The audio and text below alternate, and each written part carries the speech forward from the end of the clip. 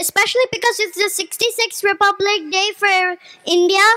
Today, I will sing Hamara Bharat National Anthem. National anthem Jana Gana Mana And just to let you know, it's the A. R. Rahman version. So.